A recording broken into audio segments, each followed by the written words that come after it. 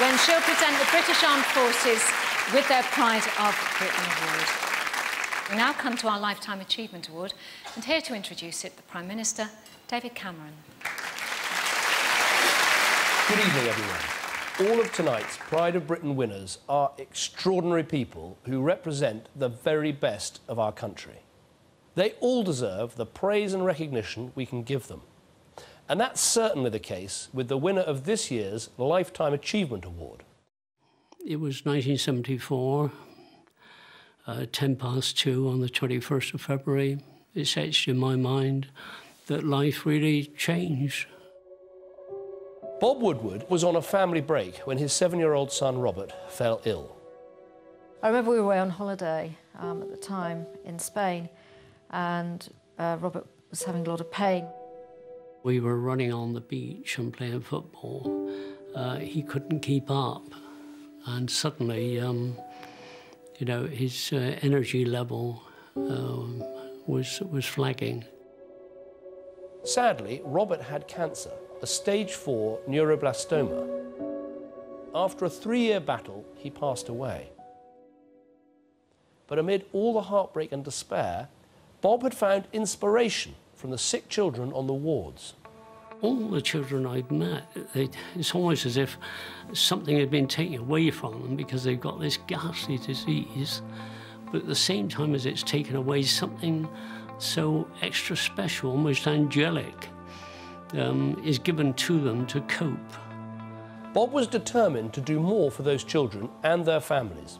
So in 1976, he set up Children and Leukemia in Childhood, which later became CLIC Sargent.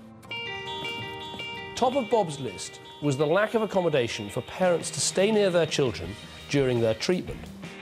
My eldest son George, when he was a tiny baby, was ill with leukemia. Um, in many ways, we were fortunate that we lived close to the hospital at Great Ormond Street, but I quickly became aware of the fact that that was not the case for a lot of families.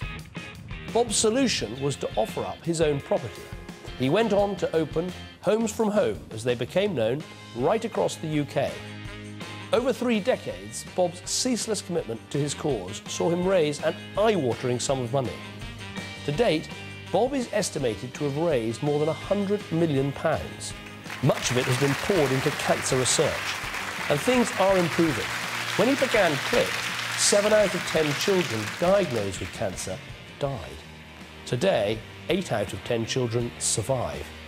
Although Bob would say it was not entirely due to him, he must have had a significant effect with the work which he was able to finance through the uh, funds which came into CLIC. I, I can't believe it's the same. Bob went on to transform CLIC into an international charity, gaining recognition from royalty to world leaders. This is a man who's devoted his talents and boundless dedication to helping others for more than 30 years.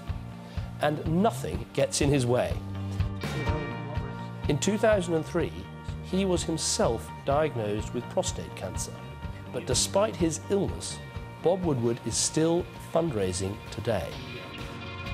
Ladies and gentlemen, I'm proud to introduce you to Bob Woodward.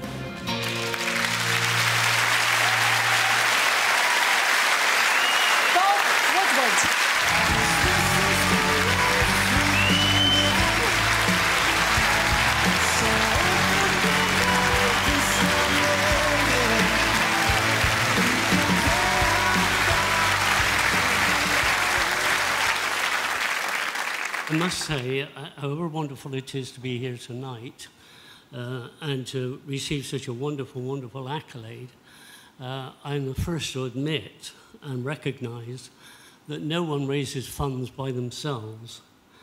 Um, you know, we are dependent on all sorts of people from all walks of life.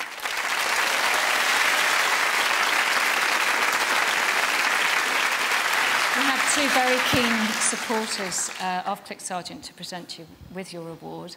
I think you know them. Former world champion boxer Barry McGuigan Oh, and acclaimed actress Sue Johnston.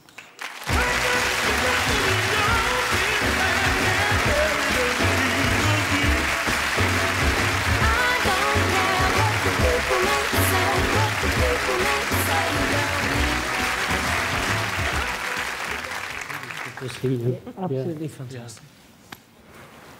Bob, what you have done and what you're still doing for all of us is phenomenal.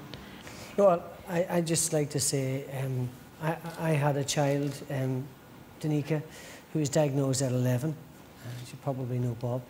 And um, she made it through, as did Gary's son, George. But yours didn't make it through.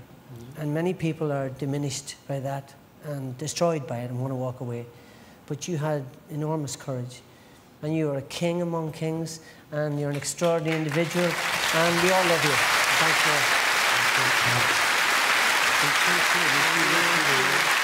Congratulations to this wonderful man, our Lifetime Achievement winner, Bob Woodward.